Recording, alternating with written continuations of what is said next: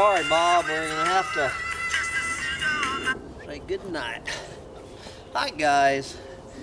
It is a, oh, just an average day on the planet. Uh, we got the Blue Jays screaming and the warplanes screaming, and Hambo is back on his rock. The first day in a month, I am back on my rock full of piss and vinegar and snot and everything else. I think somehow we have made it to uh, Thursday, November 14th, 2013. And damn, does it feel good to be back on the rock. And I've got, good God, guys, uh, where, you know, I could just go down. It doesn't matter whether I'm on the mainstream media or the alternative media anymore. I, I could sit here and rant all day. So uh, I'm going to stay on the mainstream media because the alternative media does a good enough job. They don't need my help. So today I am going to somehow draw the some sort of dots between my hero Paul Watson and the evil spawn of Satan named Donald Rumsfeld. There you go. Let's see how I pull this one off. I, I, I apologize to Paul Watson for disparaging his name. Paul Watson is the head of uh, the Sea Shepherd Society, one of my heroes. I apologize to Paul Watson for disparaging his name by even using it in the same sentence with that evil scumbag Donald Rumsfeld. But they both showed up here today, right here this morning, in uh, the mainstream media here on Yahoo News. So let me start with this article on my hero, Paul Watson. This is out of the French wire service, AFP. This headline Fugitive eco activist decries terrorist label. And this is uh, the latest article about how anybody who takes any any environmentalist with some balls, with some testosterone and some backbone, willing to go up against these goddamn planet eaters, willing to take some direct action against them, not some chicken shit like me up here on my little rock ranting while uh, Paul Watson is out there actually doing something about these evil sons of bitches, in this case, whale hunters, uh, being described as terrorists, while evil sons of bitches like uh, Donald Rumsfeld are having documentaries made about them. I'll get to that in a minute, but let me start off with my hero, Paul Watson. Okay.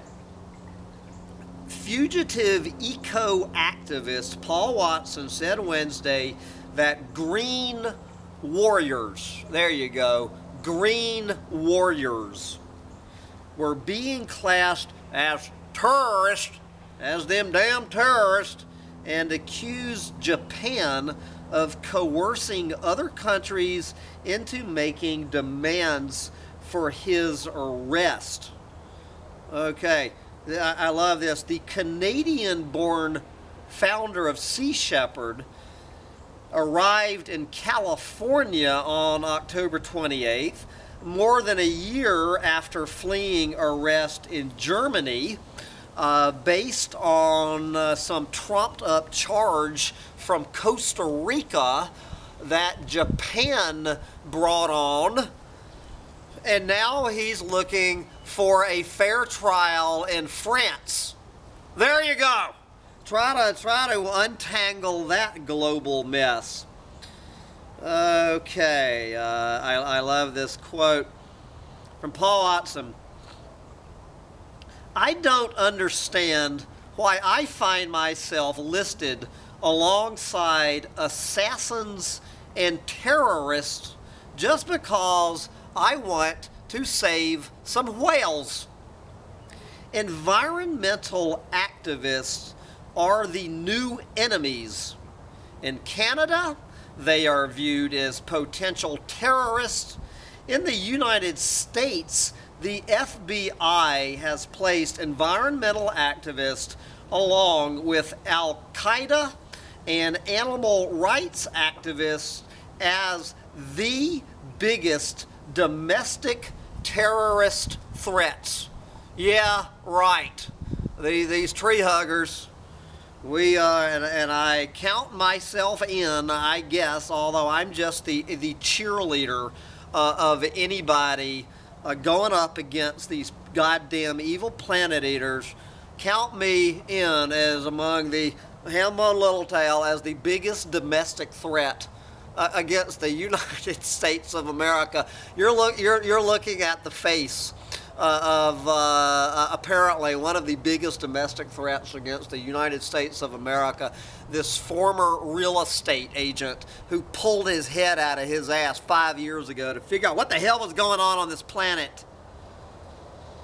Let's see. Sea Shepherd, founded in 1977, has chased the Japanese fleet hunting whales off Antarctica for several years in a bid to stop the animals from being slaughtered. While Japan says it conducts vital scientific research using a loophole in an international ban on whaling, but makes no secret of the fact that the mammals ultimately end up as food, both as food for Japanese consumers and cat food. Okay, anyway, I'm just going to jump down the end of this because I want to get to my buddy uh, Donald Rumsfeld. Okay, jumping to the end. Let's see. The Australian arm of Sea Shepherd is ready to set sail again on December 1st to disrupt the Japanese whalers.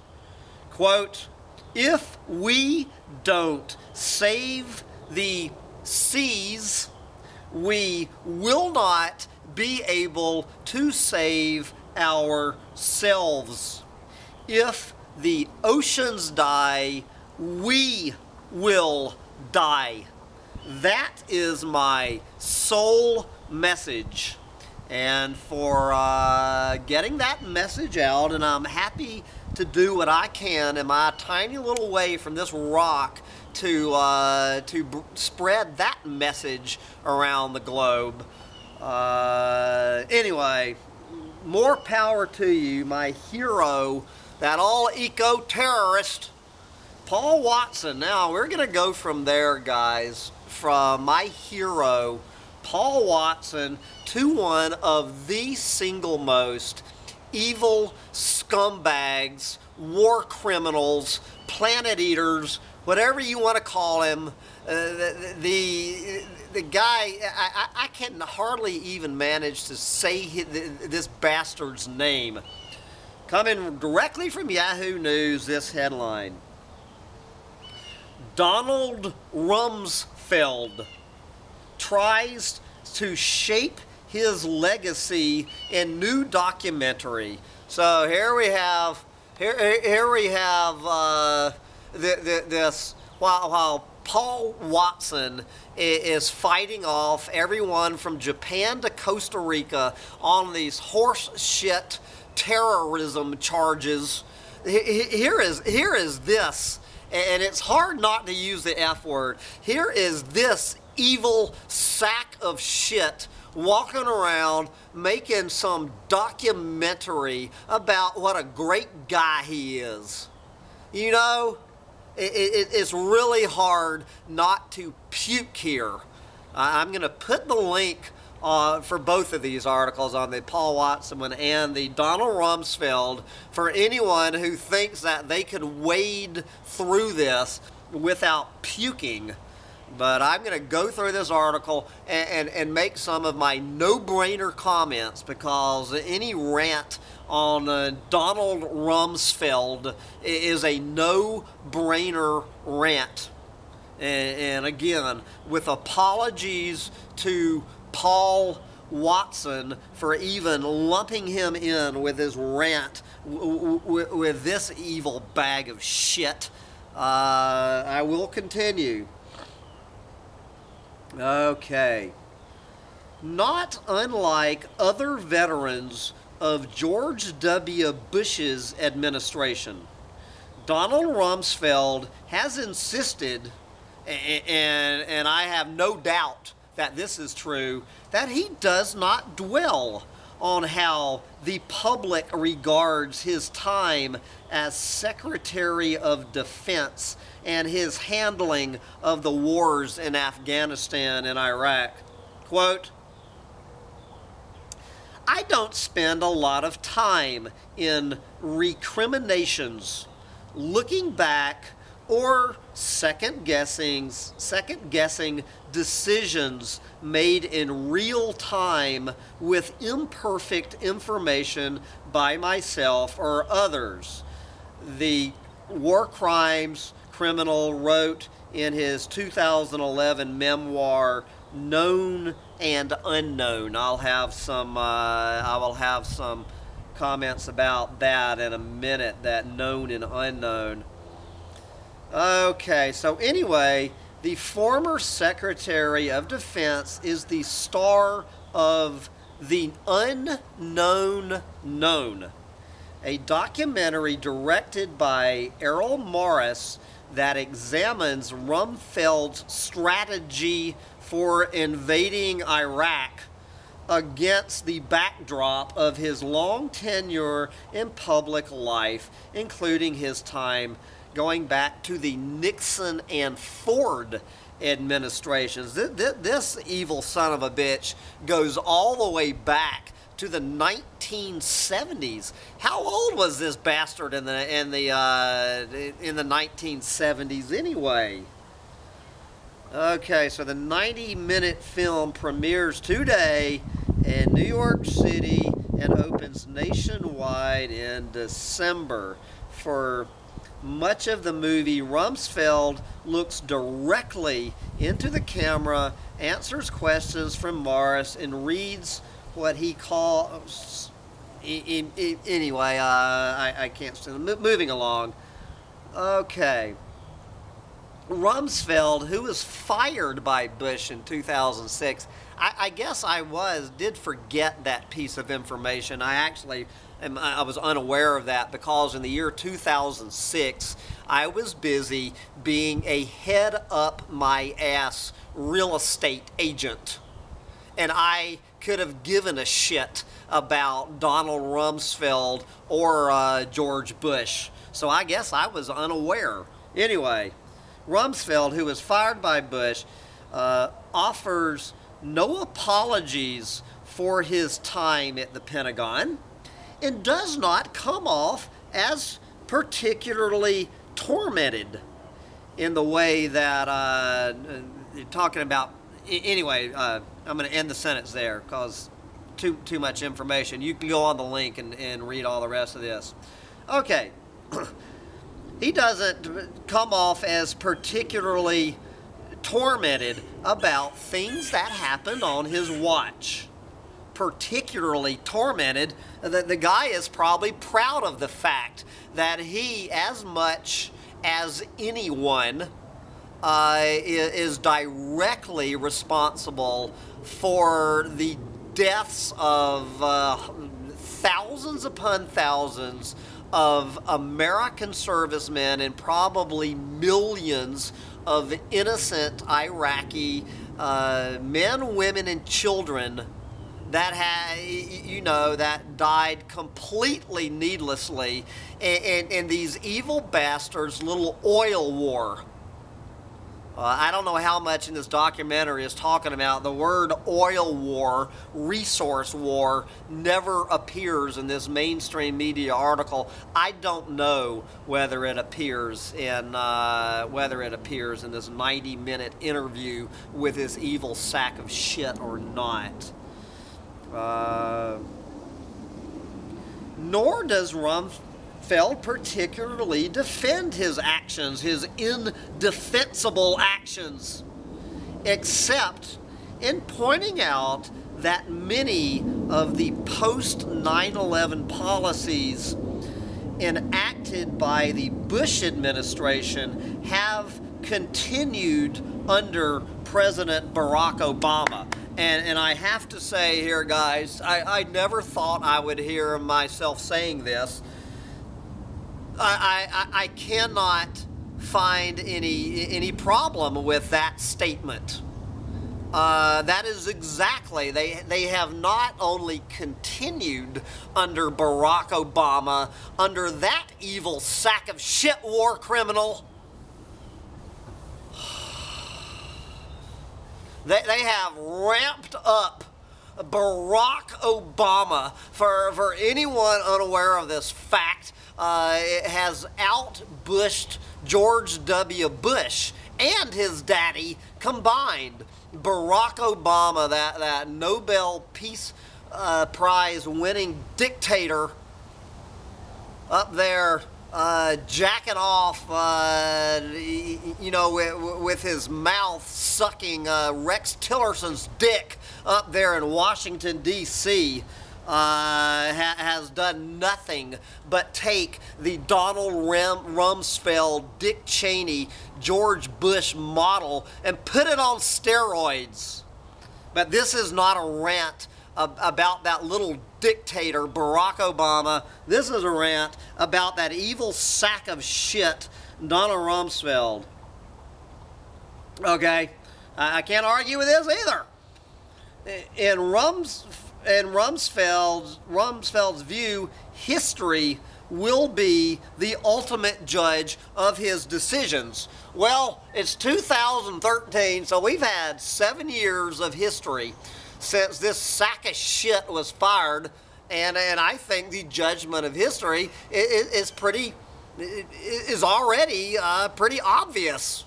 The guy is an evil sack of shit warmonger who deserves uh, to spend the rest of his life rotting in prison. He needs to go there along with Dick Cheney, George W. Bush, and Barack Obama. Go there uh, to, the, to those war crimes, to the International Court of War Crimes, uh, along with all of those African dictators. Let's send the real war criminals yeah, the, day that uh, the day that Donald Rumsfeld ends up in the uh, International War Crimes Court is the day that Hambone Littletail goes to work for Exxon. Jesus! I think history has already spoken.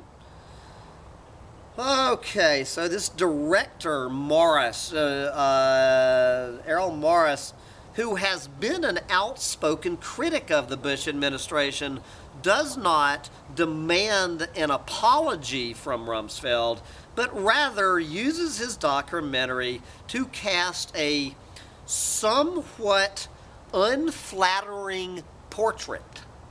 A somewhat unflattering portrait of a man once praised as one of the smartest minds in the Bush administration. A man who the film implies could use language and rhetorical riddles to justify virtually anything, including uh, what? Uh, the use of depleted uranium uh, against defenseless Iraqi children. Uh, his, his charisma, Don, the, the charisma uh, of, of a toad. Somewhat unflattering portrait. Yeah, yeah, right. Oh God, guys! I, I'm the nausea. Uh, I'm just. Uh, let's see. Where does it talk? I. Uh, it talks somewhere about this this known and and unknown. Uh, the the dot the let's see where does it talk anyway i don't know i've lost it i've lost this shit uh, this whole thing about the known and unknowns okay and, uh, and about uh, Donald Rumsfeld being one of the most intelligent minds. I don't know where it is in the goddamn story, guys. I, I, I, I am too flipped out to e even read uh, this horse shit in the mainstream media. But this, this thing about, uh, and I've put this clip on there before, about where uh, Donald Rumsfeld, and for the record, let me make it clear, I've called Donald Rumsfeld a hell of a lot of things, but stupid ain't one of him. Uh, ain't one of him. And so the the the little talk that got the most ridicule lambasted against uh, Donald Rumsfeld makes makes perfect sense. What he was doing was talking about the known knowns and the known unknowns and the unknown knowns and the unknown unknowns anyway. And uh, anyway, what he was doing for anybody who has read Carlos Castaneda, he is talking about uh, almost verbatim what Don Juan Matus was teaching uh, Carlos Castaneda about uh, when he was doing his teachings on the nagual. That I won't get off on a Carlos Castaneda rant. I need to do a Carlos Castaneda rant. But anyway, I think it was one of the most intelligent things that Donald Rumsfeld has. I mean, I have no problem with it. Uh, it's, it's, one of the teachings of Donald Matus. So, I've done this rant before. I'm just going to do this real quick. Like a known known uh, versus a known unknown. Okay. Let me pull an example. Chemtrails. Chemtrails. A known known.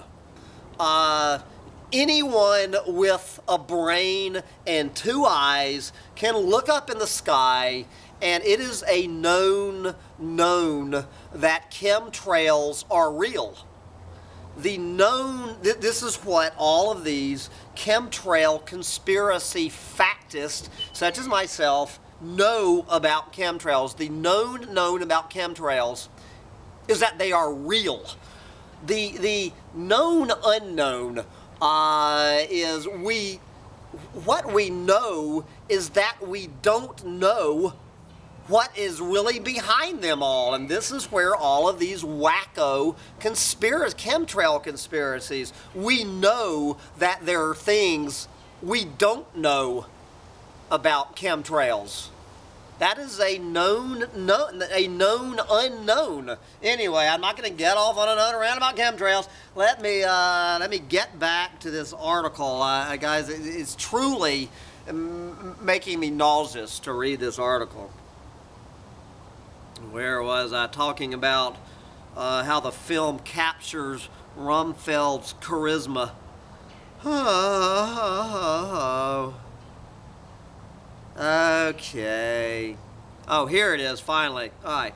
Rumsfeld explains in, in the in, in this documentary, I guess, Rumsfeld explains the difference between the known knowns which he defines as things that we know we know and known unknowns. Things we know we do not know. I got no problem with that.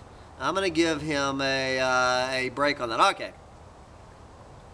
In promoting the film, Morris has trashed Rumsfeld for his lack of contrition. In a press conference, the filmmaker described the ex-defense secretary as vain, smug, shallow, self satisfied, and totally lacking in remorse, guilt, or shame. Quote, I have made a whole number of movies over the years about characters that seem to be completely unaware of themselves. I suppose in English, the word that we often use is clueless. Clueless. And uh, I think he is being too easy on Donald Rumsfeld. Donald Rumsfeld is not stupid and he is not clueless. He knew God damn well that his little oil wars over there were going to result in the deaths of thousands of Americans, the deaths and injuries and mental in, in, uh, injuries to thousands of Americans and millions of Iraqis and Afghanistanis and whoever else over there. He knew it goddamn well. He wasn't clueless about that. He, he might be clueless if he thinks history is going to vindicate this war criminal. Yeah, he's pretty goddamn clueless about that.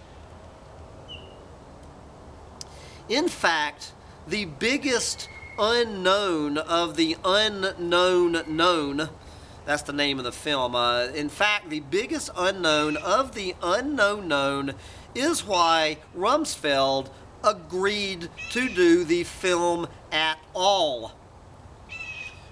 Rumsfeld, through a spokesman, declined several requests for comment but asked point blank in the final seconds of the film why he agreed to talk to Morris, where the former defense secretary grins and replies, I'll be damned if I know.